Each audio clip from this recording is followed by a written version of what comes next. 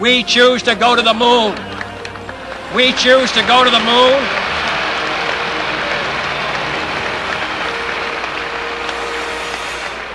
We choose to go to the moon in this decade and do the other things, not because they are easy, but because they are hard.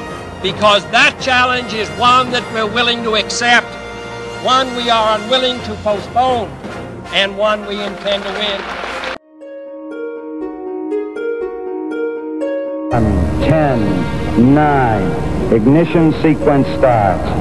Six, five, four, three, two, one, zero. All engine running. Liftoff. We have a liftoff. 32 minutes past the hour. Liftoff on Apollo 11. Oh, boy. Oh, boy, it looks good, Wally. Nav, picking up some dust. Straight shadow. Forward, drift into the right a little. 30 seconds forward, just. Contact light. Okay, engine stop. We copy you down, Eagle. Listen, uh, Tranquility Base here. The Eagle has landed. seconds. 10, 9, 8, 7, ignition sequence started. All engines are started.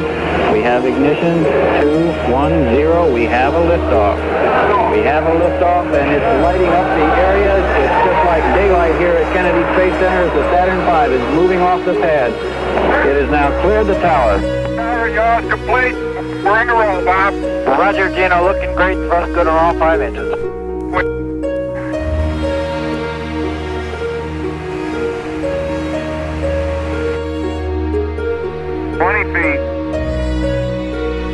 Going down at two. Ten feet.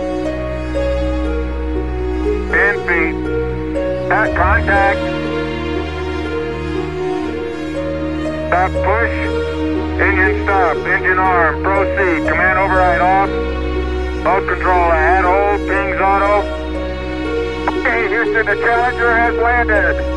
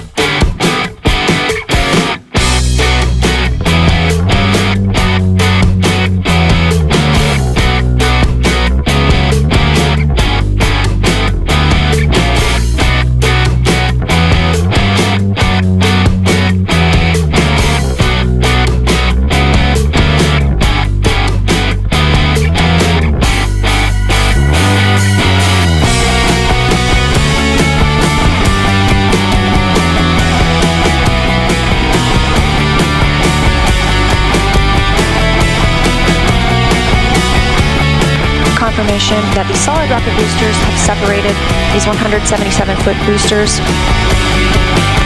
Now the core stage continues to power the flight of Orion, all four RS-25 engines firing, traveling over 3,400 miles per hour, 46 miles downrange.